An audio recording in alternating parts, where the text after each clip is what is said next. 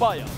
Simulan natin ang balitaan sa patuloy na gera sa pagitan ng grupong Hamas at Israel kung saan tatlo na ang mga Pilipinong kumpirmadong namatay. Nananawagan naman ng mga kaanak ng mga Pinoy na nawawala pa rin na paigtingin pa ang paghanap sa kanilang mga mahal sa buhay. Nagpapatrol, Zen Hernandez. Sa Pilipinas, sana balak ipagdiwang ni Loreta ang kanyang ika-limampung kaarawan ngayong Disyembre. Pero hindi na ito matutuloy. Kagabi, natanggap ng kanyang kapatid sa Kuwait ang balita mula sa Embahada ng Pilipinas sa Israel na si Loreta ang ikatlong Pilipinong kumpirmadong nasawi sa pagsalakay ng Hamas sa Israel noong Sabado. Sila lang po ang nagbawa sa amin magkakapatid dinamay nila yung walang ka-alam-alam. Hindi naman kasama yung mga Pilipino. Wala po kami masasabi.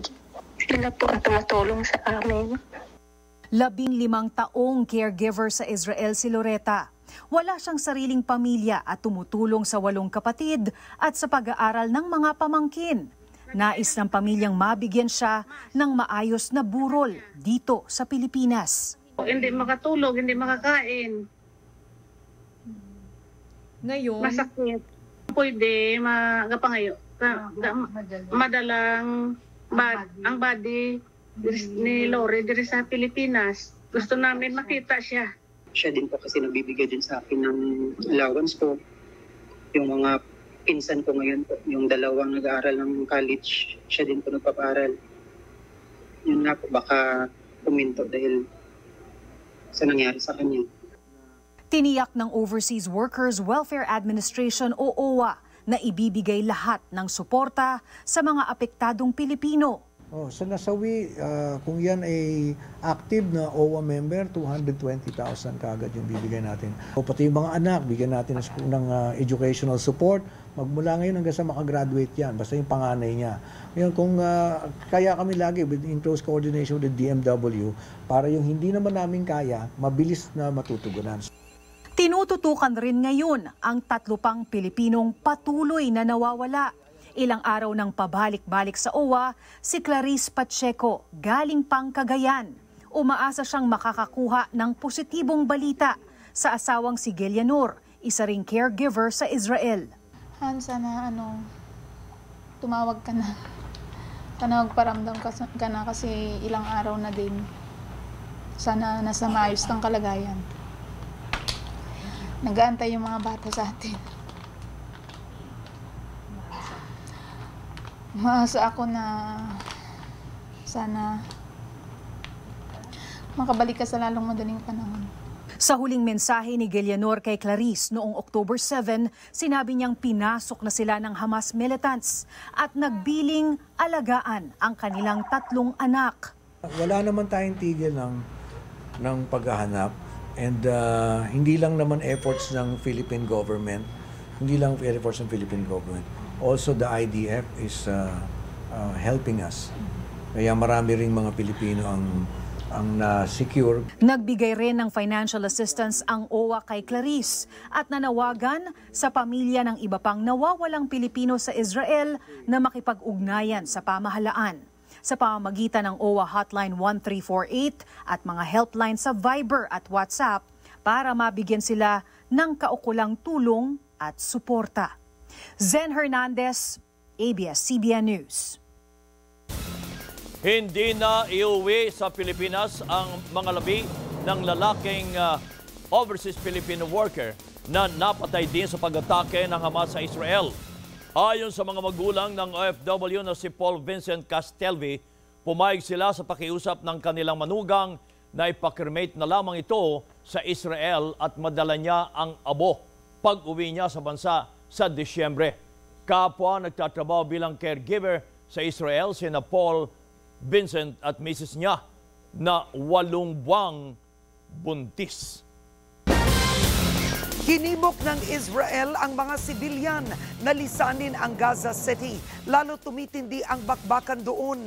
Naghahanda na rin ang Pilipinas na ilikas ang mga Pinoy na naiipit sa gulo. May apela naman ang Palestine sa buong mundo, bunsod ng gera sa kanilang bansa. Nagpapatrol, Pia Gutierrez.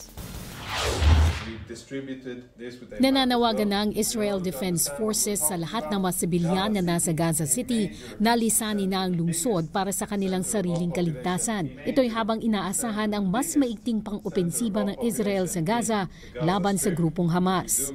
Civilians of Gaza City, evacuate south for your own safety and the safety of your families and distance yourself from Hamas terrorists who are using you as human shields. That there are civilians here whom are not our enemy and we do not want to target them. Bago nito, tiniyak ng Department of Foreign Affairs na kumikilos ang kanilang matauhan para mailika sa mga Pilipinong naiipit sa Gaza, oras na payagan ang pagbubukas ng humanitarian corridor palabas ng lungsod. Siyam na dalawa na sa kabuang isandaan at 31 Pilipino doon ang humiling na repatriation mula sa gobyerno.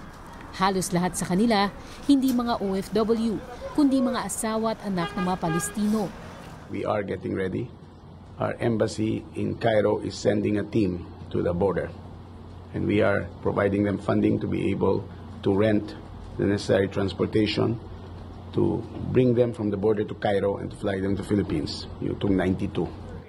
Sinabi rin ni Pangulong Ferdinand Marcos Jr. na pangunahing prioridad sa ngayon ang pagpapauwi ng mga Pilipinong naiipit ngayon sa gulo. Ayon sa DFA, bukod sa mga nasa Gaza, may 22 pang Pilipino sa Israel ang humiling na repatriation mula sa gobyerno. Nakatakdang umalis ang unang batch sa Israel sa lunes. Once they arrive, they'll be given uh, the proper assistance, no, the usual reintegration and, uh, and other um, assistance uh, packages provided by the DMW and OWA. Umabot na sa 1,300 ang patay sa Israel matapos ang sorpresang pag-atake ng Hamas simula noong Sabado. Habang nasa 1,500 naman umano ang namatay sa Gaza. Sa panayam sa ANC, nanawagan naman ang ambassador ng Palestine sa mga leader ng mundo na pag-isipang mabuti ang kanilang paninindigan sa nangyayaring gulo. Git ng opisyal, hindi umano iisa ang grupong Hamas at bansang Palestine.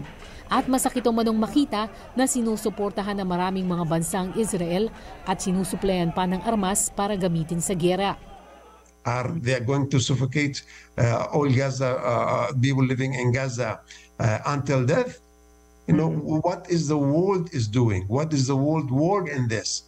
What's the world you know reaction on this? Israel is not uh, the only player in this uh, on this uh, globe. Hamas is not Palestine. Hamas is an organization. Hamas is an, an organization uh, trying to fight for the liberation of Palestine in the full absence. What what made Hamas Hamas is the absence of a real political hope for the Palestinian people. You know, you cannot just oppress people, keep them under your feet, and expect that they will keep their mouth shut and they will not move. I'm not trying to justify, but this is what exactly going on. This is what exactly happening. Samantala, sinabi ni Defense Secretary Gilbert Chodoro na kailangan maghanda ang bansa laban sa mga posibleng spillover ng gulo o tinatawag na copycat effect sa ibang grupo ng pag-atake ng Hamas sa Israel. Disruptors, let's call that. Or extremists. I mean, it always happens. So I'm not confining it to any particular group or or any any particular way of going forward. Uh, as much as possible, pinagre-ready natin. No? Isusulong naman ng National Security Council ang pagtatalaga ng Hamas bilang isang teroristang grupo. Tinawag rin ni National Security Advisor Eduardo Año na barbaric ang ginawang pag-atake ng Hamas sa bansang Israel. Pia Gutierrez, ABS-CBN News. Isa ang patay sa isa na namang insidente ng road rage sa Maynila. Naipit at nakaladkad pa ang biktima ng truck ng nakaalitang driver. Nagpapatrol, Jeffrey Hernaez. Yan niya. Napaka-demonyo. Naiyak na lamang sa galit ang asawa ni Benjamin Bagtas na nasawi matapos siyang ipitin na nakaaway na kapwa truck driver at makaladkad sa gitna ng Mel Lopez Boulevard sa Tondo, Maynila. Ang daming paraan para uiwasan yung asawa ko pero bakit kinabig niya pa yung manipela niya papunta sa truck ng asawa ko? Nakunan ng CCTV na tubigil ang close van na minamaneho ni Bagtas. Bumaba siya sa sasakyan, sabay dating ng trailer truck ng sospek. Pero imbis na dumiretso, ginitgit nito ang kaliwang harapang bahagi ng close van kung saan nakatayo si Bagtas. Iniwang nakahandusay ang biktima sa gitna ng kalsada ilang metro mula sa kanyang closed van. Ayon sa pahinante ng biktima, sa C3 na botas pa lang, nagkakagirian na ang dalawa hanggang sa magpang-abot dito sa Mel Lopez Boulevard sa Tondo, Maynila. Dito na umano kinat ng trailer truck ang sinasakyan nilang closed van. Nasagi yung side mirror namin. Tapos dumiretso yung truck. Huminto yung, tri- ng, yung driver ko, hininto yung truck namin. Para kausapin sana yung trailer. Bigla siyang sinalpok. Hawak na ng Manila Police District ang sospek na nagtangkapang tumakas. pero nahabol din siya, nahuli siya ng dalawang uh, responding police natin. Lumalabas sa investigasyon, ganun po ang ano no, na sinadya niya. Tumanggi nang magbigay ng detalye ang truck driver pero humingi siya ng tawad sa pamilya ni Bagtas. So, mapatawad po nila ako. Pinagsisisihan ko po yung nagawa kong ah, sa disgrasya. Wala sa puso ko yung pagpapatawad ngayon. Yan yung mga taong hindi dapat umahawak ng manibela kasi demonyo sa kalsada. Nangako ng tulong pinansyal ang kinatawan ng trucking company habang naharap ang sospek sa kasong murder. Jeffrey Hernaez, ABS-CBN News.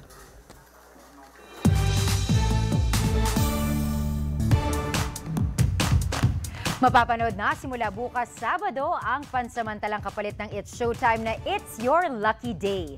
Kasama sina Luis Manzano, Robbie Domingo, Melay Cantiveros at iba pang kapamilya stars. At live sa Quezon City, nagpapatrol si MJ Felipe. MJ, kamusta ang paghahanda at ano ang aasahan ng ating mga kapamilya?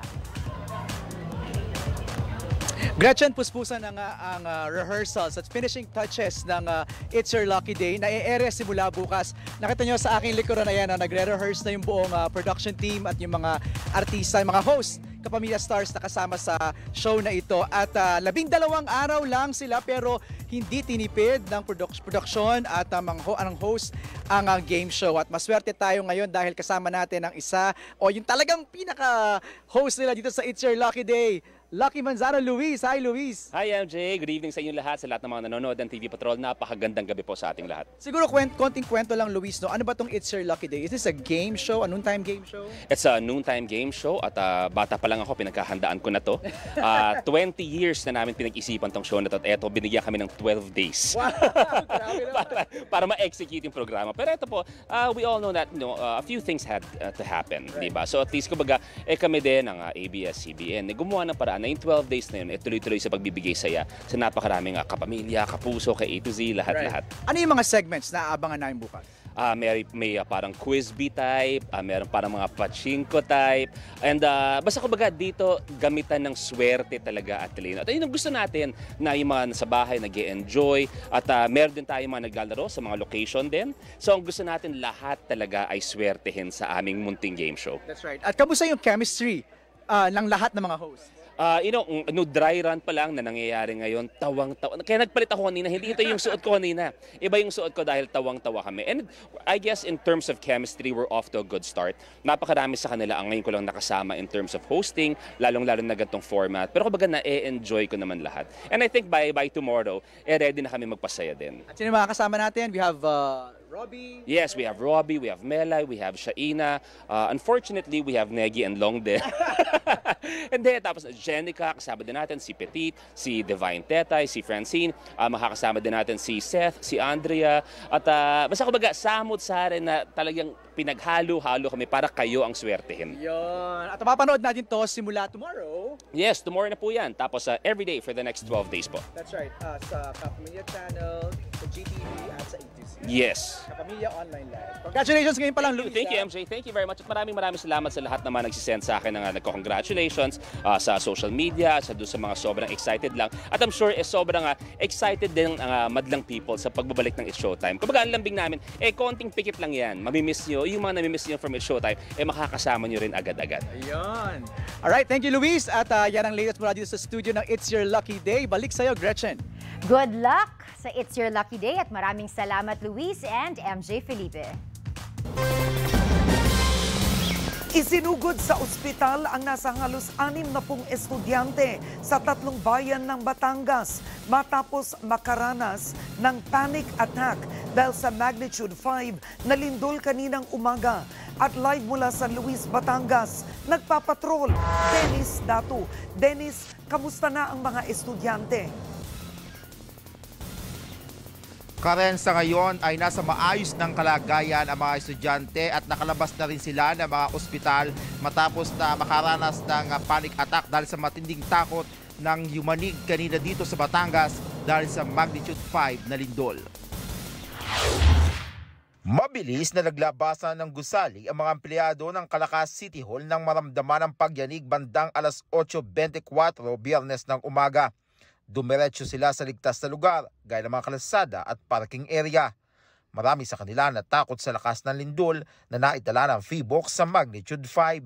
Nasa labing apat na kilometro lamang ang sukat ng lalim ng lindol kaya malakas ang pagyanig na naramdaman.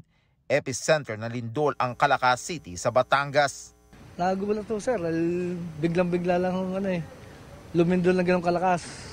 Magnitude 5 is not a very strong earthquake, but since it's very close to us, this was felt highest in Batangas City at intensity 5, Calaca and Lemery, Batangas.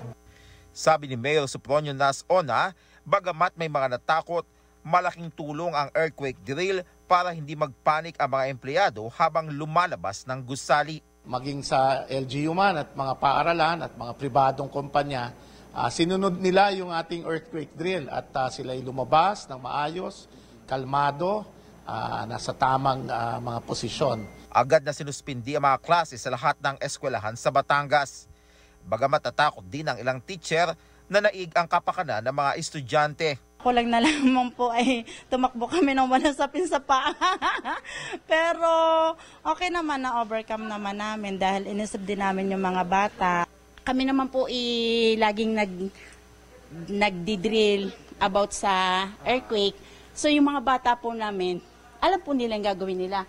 Sa pagsusuri ng City Engineering Office, nagkaroon ng maliliit na bitak ang ilang gusali sa tatlong paaralan. Hindi naman siya alarming na guguho or hindi naman siya para maging ah, tawag dito ah, unusable yung building. Pero sa bayan ng San Luis, 22 junior at senior high school students ng St. Blaise Community Academy ang isinugod sa ospital. Nahirapan umano silang huminga at sunod-sunod na nahimatay dahil sa takot sa lindol. Nang makita ng mga estudyante ng mga inimatay, ang iba ay siguro natakot sila.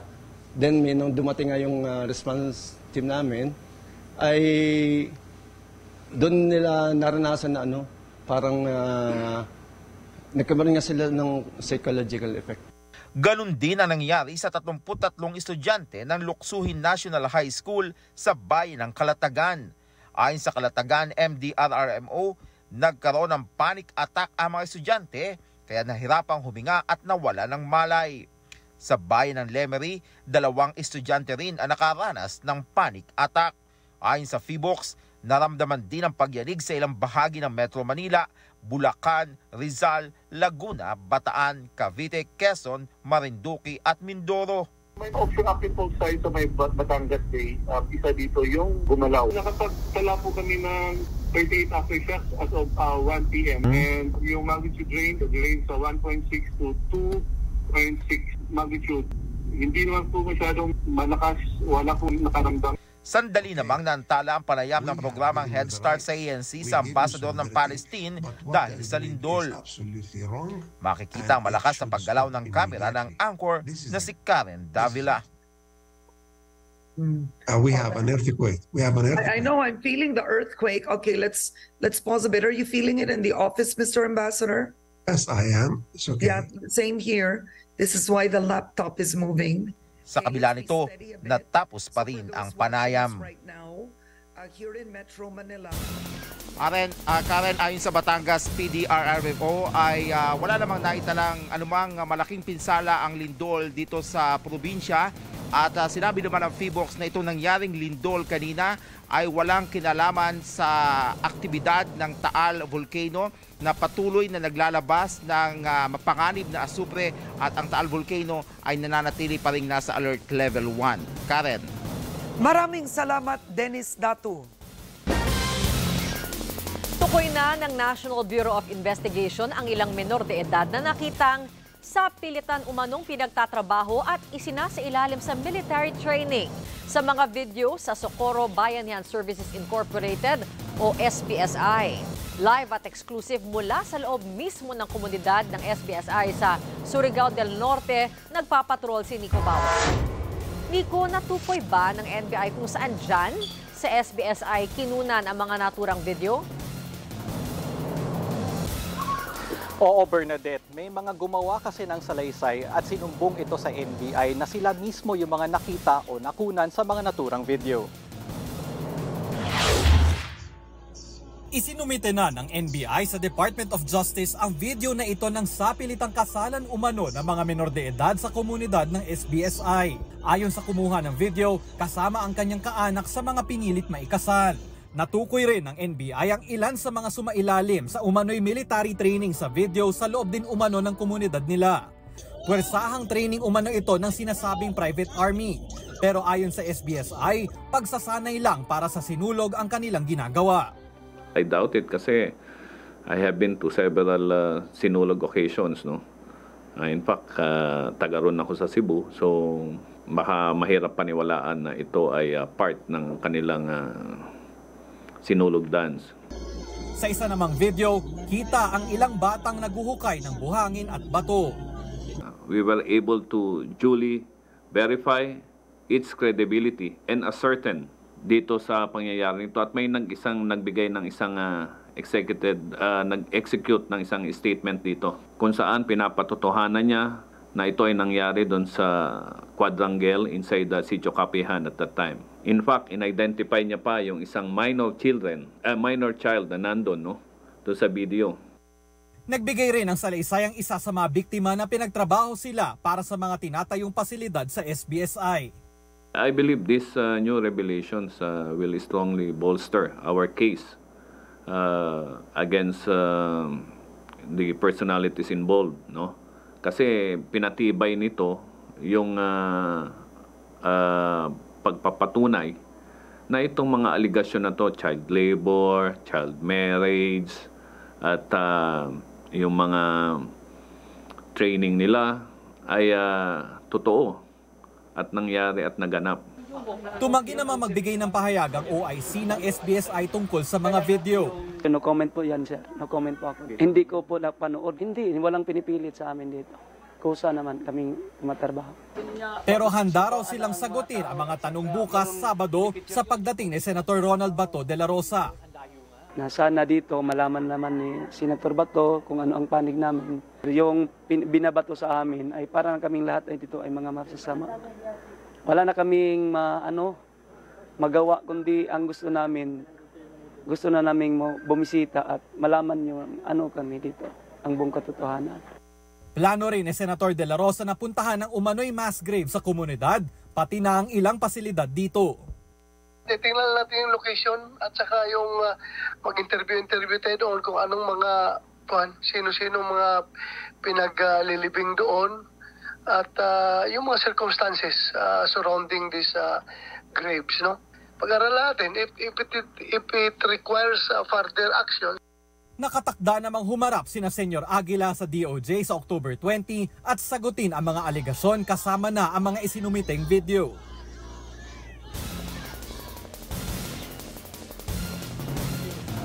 Bernadette sa likod natin ay yung bahay mismo ni Senyor Aguila pero hindi pa tayo sigurado kung kasama ba ito sa mga i-inspeksyonin ni Senador ah, Bato bukas ng umaga.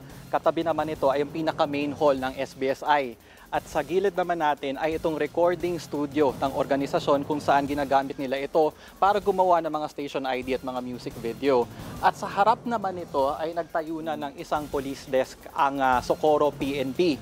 At ayon sa mga pulis na ito na naka-duty na dito ng dalawang linggo mula nung buksan itong SBSI, ay naging peaceful naman daw ang kanilang pagbabantay dito.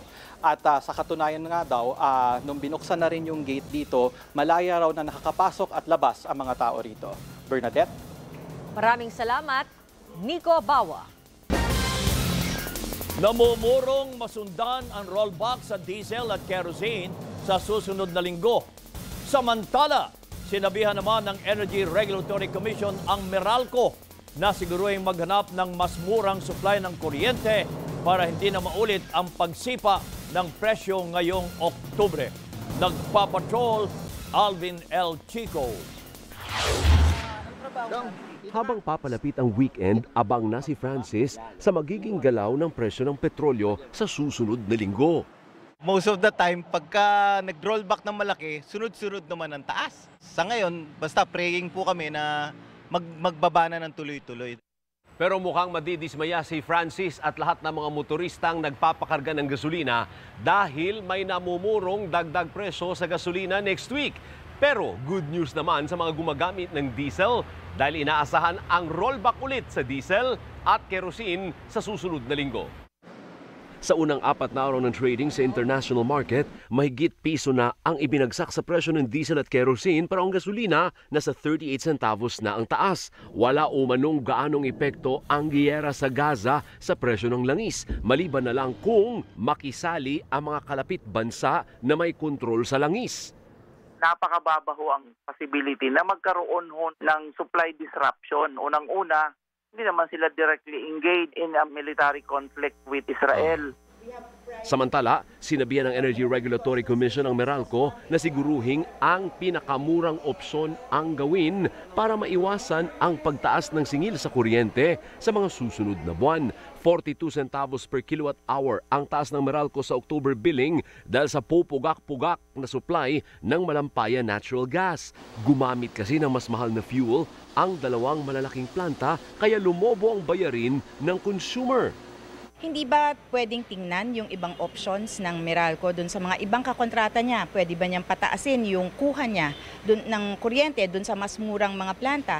Pwede bang taasan niya ng konting kuha niya sa WESM pag mababa yung presyo sa WESM? So ito ay panawagan siguro sa Meralco on behalf of the consumers na baka pwedeng tingnan ulit yung optimal mix. Sagot ng Meralco, ginawa na nila ang pinakamagaan para sa consumer. Kung hindi o mano gumana ang mga planta dahil walang fuel, mababawasan ang supply ng kuryente sa Luzon na magpapataas lalo sa presyo sa spot market. pwedeng ah, tight na yung supply sa grid. So kung hindi natin patatakbuhin yung first gas on condensate, pwede tayo magkaroon ng yellow or even red alerts. Dahil they're a very large ah, part that supplies the grid 1,500 megawatts. Kung mabawasan ng capacity sa grid, ah, merong malakas ng pressure naman na tumaas yung spot market prices. Delayed pa rin kasi ang pasilidad na puproseso sana sa imported na liquefied natural gas para pwedeng pansalo kapag biglang mawawalan ng supply ang malampaya. kahit anong gawin ng um, Department of Energy, kung mismong yung mga delay ay pwede naman sanang maiwasan, dapat ah, talagang nare-respondihan na ng mga um, companies natin. Hanggang 2027 na lang ang natitirang supply ng malampaya pero ngayon pa lang bumababa na ang pressure kaya kinukulang na ang natural gas ng bansa. Alvin L. Chico, ABS-CBN News.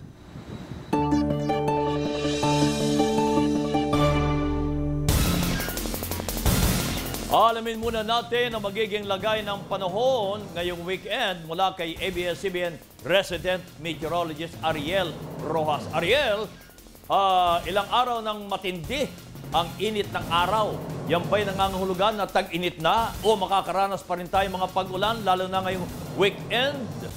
Kabayan, actually kakatapos lang ng panahon ng habagat season or mga tag-ulan, kaya asahan po na unti-unti ang transition sa ating amihan season. Sa mga susunod na oras naman po ay inaasang makalabas na ng Philippine Area of Responsibility ang low pressure area dito sa uh, may West Philippine Sea. Huli po itong namataan kaninang hapon 400 kilometers west-northwest ng Puerto Princesa City. Bukod dito, walang ibang samang panahong makakaapekto sa bansa ngayong weekend. Magiging maaraw at mainit pa po sa maraming lugar hanggang tanghali pero may mga aasahan pang pagulan lalo po sa hapon at gabi. Kaya kapamilya, maging listo pa rin dahil posible pa ang mga pagbaha at pagguho ng lupa. Sa rainfall forecast ng The Weather Company ngayong weekend sa Mindanao, umaga pa lamang ng Sabado, maulan na sa maraming bahagi. Mababawasan ito sa tanghali pero maulan pa sa Zamboanga Peninsula. Hapon hanggang gabi may mga aasahang ulan muli sa Caraga, ilang bahagi ng Davao Region at Northern Mindanao. Sa linggo, maulan na sa umaga sa Sulu Archipelago at mula po tanghali, maulan na rin po sa ibang bahagi pa ng Mindanao. Hapon hanggang gabi, may mga malalakas na ulan sa may Agusan del Sur at Bukidnon at mas maulan pa sa Sulu Archipelago sa gabi. Sa Visayas, Sabado po ng tanghali hanggang hapon, uulan sa halos buong Kabisayaan. At pagsapit ng gabi sa may Leyte provinces at sa Bohol, may aasahan pang mga pag-ulan. Tuloy-tuloy po yan hanggang linggo ng madaling araw. Pagsapit naman ng linggo ng tanghali, uulan muli sa halos buong Visayas. Bandang hapon, maulan pa sa Negros at sa Panay, lalo po sa probinsya ng Antique at sa gabi maulan pa dito sa Bohol, Cebu at Negros Island. Sa Palawan, bukas, bago magtanghali hanggang hapon, maulan sa buong probinsya at sa linggo, halos buong araw makakaranas ng mga hanggang malalakas na pag-ulan ang buong Palawan. Sa Luzon, Sabado ng umaga hanggang tanghali po malalakas ang ulan sa Camarines Provinces at meron ding ulan sa ibang bahagi pa ng Bicol Region, sa Calabarzon, Mindoro at sa Marinduque. May ulan na rin po sa ilang lugar sa Northern Luzon sa hapon hanggang gabi pero wala ng ulan sa may Bicol. Sa linggo, maaraw sa umaga pero may kaunting ulan sa tanghali dito po sa may bahagi ng Bicol at Mindoro. Magpatuloy pa hanggang hapon ang ulan sa Mindoro at sa gabi may mga pag-ulan pa sa Laguna, Southern Quezon, Batangas at Marinduque. Tayo naman sa Metro Manila, maaraw po at mainit hanggang bago magtanghali, agahan po ang paglaba dahil sa hapon po makakaranas ng mga thunderstorms, mas mataas ang tsansa sa araw ng Sabado. At yan po ang update sa lagay ng panahon. Ako po si Ariel Rojas. Happy weekend at ingat sa pamilya. Takot ang nararamdaman ng ilang Pinoy sa Israel dahil sa patuloy na pambobomba sa lugar. Sa kabila naman ng pangamba, buhay pa rin ang bayanihan sa puso ng mga Pinoy doon. Nagpapatrol, Vivian Gulia. Umaga man, o hating gabi, walang pinipiling oras ang putukan at pambobomba sa Israel matapos ang sorpresang pag-atake rito ng militanteng grupong Hamas. Kita sa kuha ni Bayan Patroller Batsheva Haas mula sa kanilang condominium malapit sa Gaza ang sunod-sunod na putok ng rocket missiles sa madilim na kalangitan. Kaya kahit may mga pansamantalang katahimikan sa lugar nila tulad kahapon, mistulang ghost town pa rin ang mga kalsada sa takot ng mga taong lumabas kahit tanghali. Pinauuwi na ng mga kamag-anak sa Pilipinas si Batsheva na 22 taon na sa Israel. Pero pinili niyang manatili dito kasama ang asawang ipinanganak at lumaki sa Israel. May takot, pangamba. Pag uwi mo dito sa bahay, wala ka talagang ganang kumain. Kasi pag na maririnig habang nagluluto ka, may sirena na darating. Kahit sa gabi, tinitingnan ko yung dagat. Sabi ko, baka may sumalta na alam mo na, yung mga Hamas. Pag nakikita ko walang pulis, hindi na ako natutulog. Tinitingnan ko para din ako security. Israeli rin ang napangasawa ng Pinay na si Amy Afable. Hindi niya mapigilang maluha sa kasalukuyang sitwasyon sa Israel na higit apat na dekada niyang naging tahanan. Aminado siyang kahit malayo sa kaguluhan ng kanilang lugar, lagi pa rin siyang kabado lalo tuwing tutunog ang sirena. Once na nag-alarm o nag-siren, talagang tatakbo ka sa shelter. Okay, talaga nakakatrauma yan kasi sa gabi hindi ka talaga makakatulog. Baka bigla na lang bombahin ka, bigla na lang makapasok dito. Talaga nag-iingat kami dito lahat. Sa kabila nito nang mabalita ang may sugatang Pinoy caregiver na dinala sa ospital malapit sa kanila, agad niyang binisita ang lalaki at nag-abot ng tulong. Nagpuputo ka na.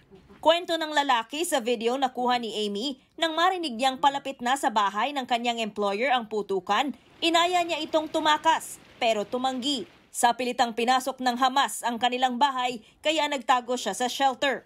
Sa shelter, pabalik-balik ako, tinitignan ko sa yung alaga ko, baka may ligaw na bala. Hanggang sa may nag, nag ano na, may nag, sinisira na binubuksan na lang yung harapan ng bahay namin, nakalaki. Sinisira na nila. Ang ginawa ko, takbo na ako, hindi ko na makuha yung alaga ko. Kasi hawak-hawak niya yung yung pintuan, yung knob, doon binaril ng ng IDF yung ano yung knob ng ano para mabuksan nila. So uh, unlucky tinamaan siya dito sa shoulder. Ayon kay Amy na nagtatrabaho sa isang agency ng caregivers, maraming Pinoy pa rin sa sentro ng Israel ang pinipiling manatili doon. Ang hiling nila sa mga kababayan at kapamilya, dasal para matigil na ang gulo. Vivian Gulia, ABS-CBN News. Nauwi na ang labi ng pinaslang na Pinay domestic helper na si Marjoret Garcia mula Saudi Arabia. Sinasabing pinatay si Garcia ng kanyang kasama sa trabaho na isang African noong September 16. Ayon kay OWA Chief Arnel Ignacio, pinagsilosan ang biktima ng suspect dahil naging malapit naman siya sa kanilang amo. Nakakulong na ngayon ang suspect habang humaharap sa paglilitis. Ibabiyahe naman ang labi ni Garcia sa kanyang tahanan sa San Jacinto, Pangasinan. Ano, mahal na mahal siya ng kanyang ano, amo eh. Binagdagan siya ng isa pang kasama para nga gumaang yung kanyang trabaho.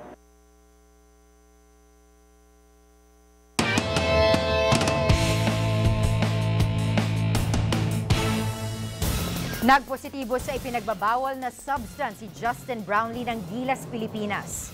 Ang tanong ng marami, babawiin ba ang gintong medalyang napanalunan ng Gilas sa Asian Games?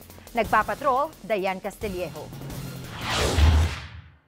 Mananatili sa Gilas Men's National Basketball Team ang gold medal ng Asian Games. Ito ang tiniyak ni Philippine Olympic Committee President Bumble Tolentino matapos magpositibo ang naturalized player ng Pilipinas na si Justin Brownlee sa carboxy-THC, isang substance na tulad ng cannabis na kasama sa listahan ng prohibited substances ng World Anti-Doping Agency. mananatili sa atin ng gold. We're still the gold in basketball uh, Asian Games. Uh, why? Under Yes. the ADR, the annu the anti-doping rule, there's a section there uh, 11.2 something. Pag team event, dapat more than two players ang positive before they decide na kung strip of a medal or gold or whatever medals. The only one, siya lang, uh, they cannot uh, strip Ayon kay Tolentino, sa pakikipag-usap niya sa Samahang Basketball ng Pilipinas, posibleng may kinalaman ito sa medication ni Brownlee na kinailangan niya para gamutin ang injury niya bago ang Asian Games. Brownlee is under medication sa US. He was injured, so he's under medication. So I don't know, baka doon sa medication na yun, merong merong na na sa US, alam mo naman, that's legal. Merong na na recommend yung doctor na prescribe, no? Yung doctor na to take that na, na merong konting THC Isa sa ilalim din ng International Testing Agency sa analysis ang sample B ni Brownlee. Kung positibo pa rin ito, pwede siyang masuspindi sa mga FIBA sanctioned tournaments. the ITA will set the date for that uh, opening of sample B after October 19. After that, if it's still uh, uh, positive, then uh, they will impose the two-year suspension for for Brownlee, and that is also the time if we will contest, protest, or appeal sa CAS sa kanila, sa OCA, then everything will. That's the procedure. Pag-uusapan ni Tolentino at ng SBP ang mga susunod na hakbang depende sa magiging resulta ng test sa sample B ni Brownlee. Samantala, all out din ang preparasyon ng mga Pinoy athletes para sa Paris 2024 Olympics. Sa ngayon, apat pa lang ang atletang Pinoy na nag-qualify na. Si Carlos Yulo at Alia Finnegan sa gymnastics, EJ Obiena sa pole vault at Yumir Marshall sa boxing. May planong training venue ang POC sa France para sa kanila para mag-acclimatize sa mga atleta at maging komportable hanggang sa Olympics. We signed already a contract for that in Metz, the city of Metz. That's two hours, one hour, one hour and a half by train, train Okay. to from to from Paris. So it's really really complete, no? Swerte tayo nakakuha na na Target ng Pilipinas na mahigitan ng isang gintong medalyang nakuha ni Heidelin Diaz noong 2020 Tokyo Games. Diane Castillejo, ABS-CBN News.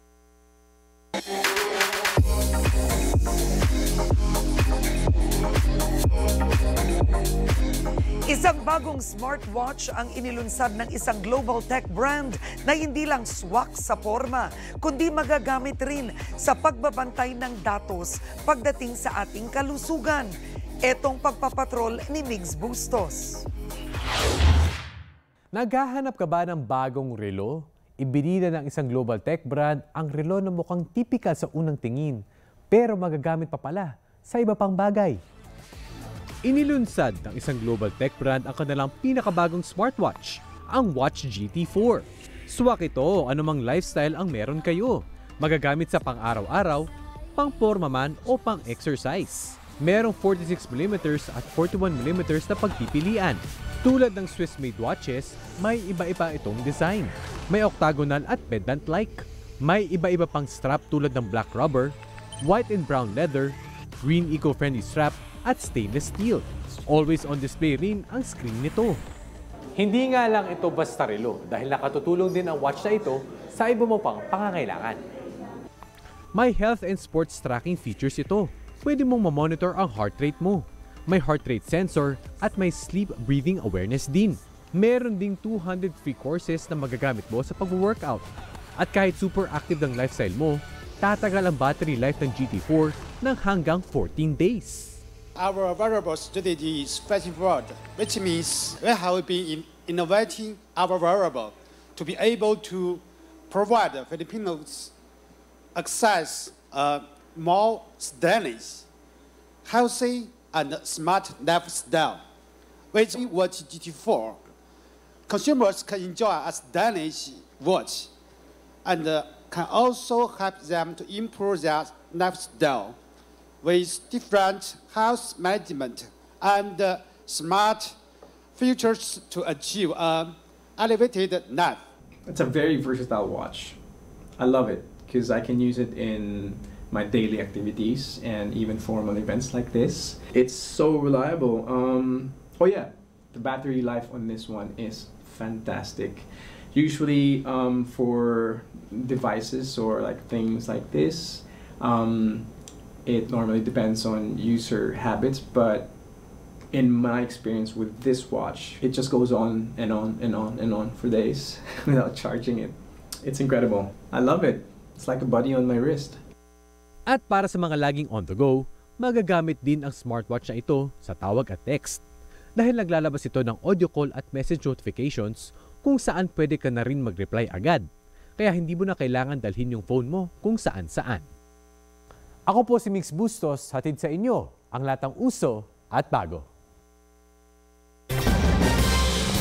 Kinumpirma ng Department of Science and Technology na nakaranas din sila ng data breach na nangyari naman noong pang-Agosto. Aminado naman ng DICT na hindi nila ito kaagad na naharap dahil tutok sila sa iba pang insidente ng hacking at kulang din sila sa tao. Nagpapatrol Jackie Pascual. Nakaranas din ng data breach ang One Expert Portal ng Department of Science and Technology na naglalaman ng contact information ng mga eksperto at ilang users nito. Kinumpirma ito ng ahensya matapos i-report ng ilang cybersecurity experts na kumalat ang data mula sa DOST portal kasama ng impormasyon na galing naman sa Philippine Statistics Authority. Sabi ng DOST, nangyari ito noong Agosto at naayos na rin ang website. Wala rin umanong sensitibong personal information ang nakompromiso. Every agency should be wary of, of its security. So it's a standard for all agencies to really make sure that their ICT systems are are really safe. Inamin ni Yusek Jeffrey D na nai-report sa kanilang insidente pero mas tutok sila sa hacking ng PhilHealth at PSA dahil bukod sa mas mahalaga ang mga data doon, kulang rin sila ng mga tauhan. Meron kaming pinaprocess na more than 3,000 events already no from January to now. Unfortunately, we're less than 30 people. So ang ginagawa niyan, namimili talaga kami ng cases and issues. Tinitingnan naman ng DICT ang bawat anggulo kasama na ang inside job. With the PSA, our suspect is somewhat local and somewhat amateurish pa yung sa PSA. Every angle that we can come up with, we would look into, including the angle if it was an inside job. Para sa data tech analyst na si Dominic Ligot, maaaring may aksidenteng na-click ang isang empleyado kaya nakapasok ang hacker sa system ng ahensya. Potentially nagkaroon din ng vulnerability uh, from the employees themselves. Di ba may lumalabas nga na tanong baka inside job, that's always a possibility. Payo naman ni Senator Win Gatchalian, dapat maging mas agresibo ang pamahalaan pagdating sa cybersecurity. Ang kinakatakutan ko yung mga critical infrastructure natin tulad ng mga national grid, yung transmission lines natin, yung airport, mga bangko. Tingin ko baka mas mayroon pang mas malubhang gagawin itong mga hackers na ito. Naaalarma rin si Defense Secretary Gilbert Teodoro sa sunod-sunod na insidente ng hacking. Ito'y ah, panawagan din sa ah, ating mga sa mga kinaukulan. Malaki ang gastos dito kailangan. Hindi lang sa platforms, kung hindi sa pag-training ng ating mga tao. It's unfortunate na kailangan mangyari na yung kaliwat ka ng mga pag-atake to to make us realize how important that we set up a system to prevent these kinds of attack to ha- from happening. Suportado naman ng ilang mambabatas ang pagpapanatili ng confidential funds ng DICT. Jackie Pascual, ABS-CBN News. Sa pinakahuli pong pahayag ng PSA, sinabi nilang ginagawa nila ang lahat upang ah, hindi na kumalat pa ang mga datos na nahak mula sa kanilang community-based monitoring system. Hindi sa tulong na rin ng iba pang ahensya na iniimbestigahan ang insidente. Ayon pa sa PSA, hindi apektado ng data breach ang mahigit isang pa nila mga census at survey. Nauna na nilang sinabi na hindi rin apektado ang mga sistema nila na may kinalaman sa national ID at birth, marriage at death certificates. Sa ibang balita naman, mahigit sa 1.4 million ang kandidato na tatakbo sa iba't ibang posisyon sa barangay at sangguniang kabataan elections ngayong Oktubre. Pero may mga lugar na walang kandidato sa ilang posisyon o kaya'y tumatakbo na walang kalaban. Nagpapatrol, Victoria Tulad. Nag-aalala ang ilang taga-barangay St. Ignatius sa Quezon City dahil walang tumatakbo sa kanilang lugar para maging chairman at kagawad ng Sangguniang Kabataan. Tanong ng dalawampung taong gulang na si Eloisa, paano na ang mga proyekto para sa kanilang kabataan? It's best to have a representative so that uh, you know the youth has a say in issues as well and that because the youth always has something new to bring to the table naman. Ayon sa Commission on Elections, walong barangay sa buong bansa ang walang tumatakbong barangay chairman. 124 ang walang kandidato para sa SK chair, habang 543 na barangay ang walang kumakandidatong SK member. Sabi ni COMELEC Chairman George Garcia, nangyari na ito noong 2018 barangay elections. Hindi ko rin po maintindihan kung bakit walang nag-file ng Certificates of Candidacy. Siguro nga dahil naiiksian sila sa termino ng mga mananalong barangay and SK officials. Hanggang December 2025 lang maninilbihan ang mga mananalo. Mas maiksi sa nakatakdang tatlong taong termino ng mga opisyal ng barangay base sa kautusan ng Korte Suprema. Tiniyak ng Department of Interior and Local Government na may proseso para hindi mabakante ang mga posisyon. Sa ilalim ng Sangguniang Kabataan Reform Act of 2015, idaraos ang special elections kapag walang tumakbo sa halalan. Kung SK chairman lang ang wala, succession ang ipatutupad.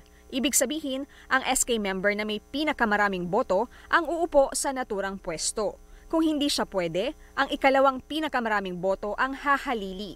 Dahil magkakabakante sa mga SK Kagawad, magpapatawag ng Katipunan ng Kabataan Assembly na magre-rekomenda sa ipapalit. Kailangan pasok sa mga kwalifikasyon ang bagong miyembro at aprobado ng DILG. Nakasaad naman sa Local Government Code na kung walang barangay chairman, ang sangguniang barangay member na may pinakamaraming boto ang uupong punong barangay. Dahil dito magkakaroon ka ng uh, vacancy sa mga sangguniang barangay. No? So the seventh seat shall be filled doon sa appointment ng city or municipal mayor upon the recommendation of the sangguniang barangay. Kailangan din itong aprubahan ng DILG. Kung walang tumatakbo sa lahat ng posisyon, magkakaroon ng special elections. Ang susi kasi rito, huwag mahinto ang function ng barangay. Dapat dire-diretso ang delivery ng basic services. Bukod sa mga barangay kung saan walang tumatakbo sa ilang posisyon, may mga barangay rin na unopposed ang kandidato o walang kalaban. Gaya pa rin dito sa barangay St. Ignatius.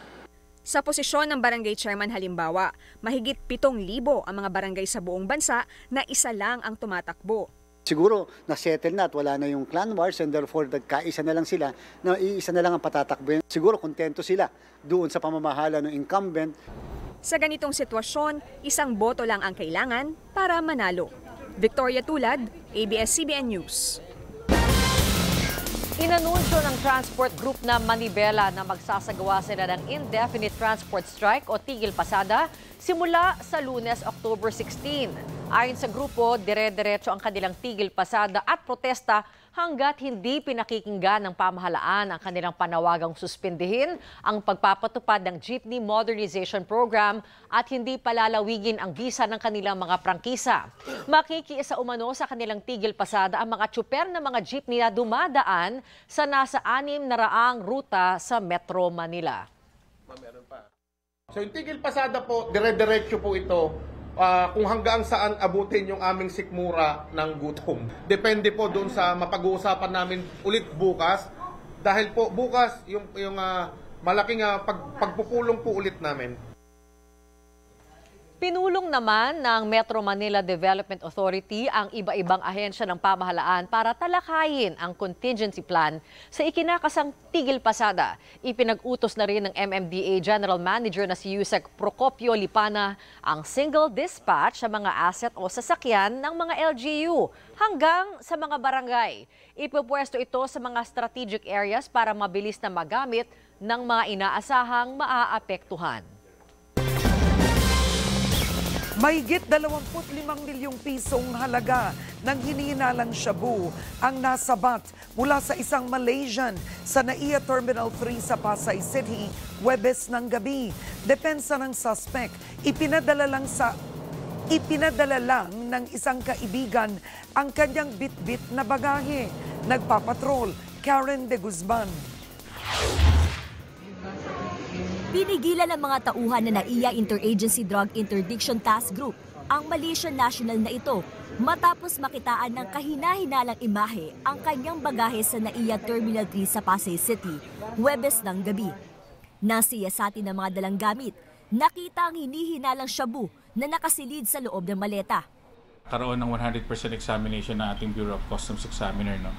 At uh, doon nga lumantad yung ano, illegal na substance doon na naka-conceal po doon sa false compartment ng kanyang bagahe, doon sa dalawang side.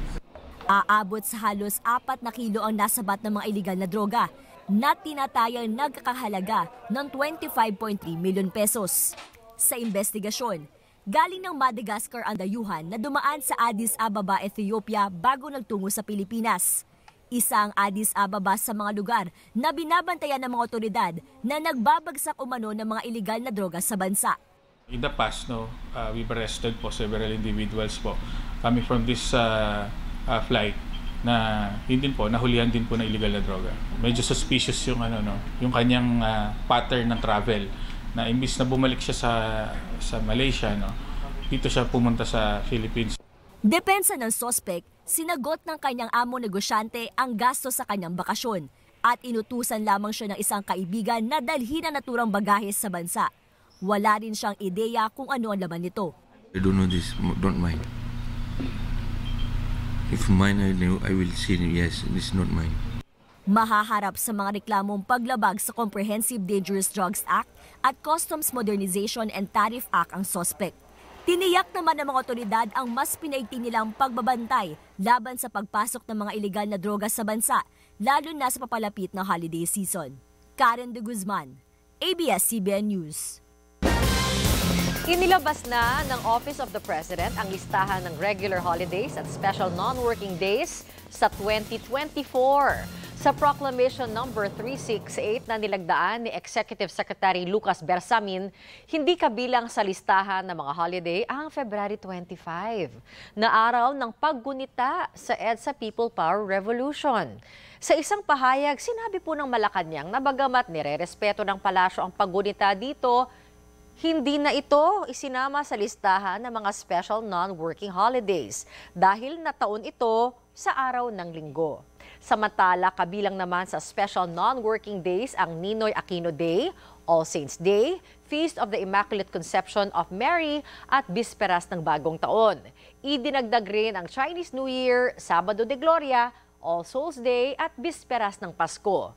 Ang proklamasyon naman para sa Islamic holidays na Idil Fitir at Idil Adha ay ibabase naman sa rekomendasyon ng National Commission on Muslim Filipinos.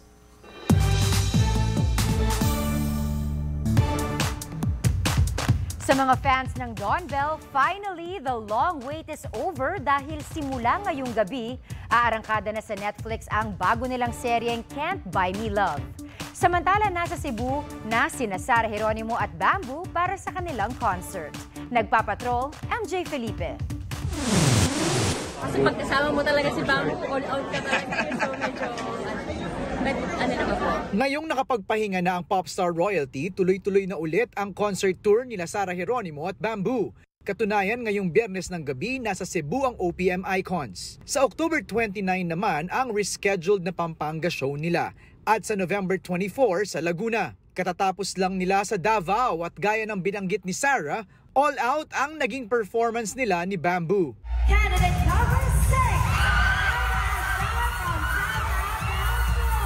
Speaking of Davao, taga Davao del Sur ang kinoronahang bagong Miss Cosmo World Philippines 2023. Ang 27-year-old ex-flight attendant na si Elda Luis Aznar. Dati na rin siyang sumali sa Miss Earth Philippines 2021 at Binibining Pilipinas 2022. Sasabak si Aznar sa pageant sa Malaysia sa susunod na buwan. Feeling winner din ang buong team ng The Iron Heart dahil sa tagumpay ng action serye sa primetime. Ibang-iba to sa lahat ng Filipino teleseries na napanood natin sa ABS-CBN. I'm really, I'm very, very proud to have been a part of that show. Huwebes nagsimula ang two-part finale na kinunan pa sa Japan at mamaya ang pagtatapos at huling tapatan ni na Apollo at Eros ang hashtag The Ultimate Ride pagkatapos ng Batang Quiapo. Ngayong gabi na rin ang pagsisimula ng Can't Buy Me Love sa Netflix.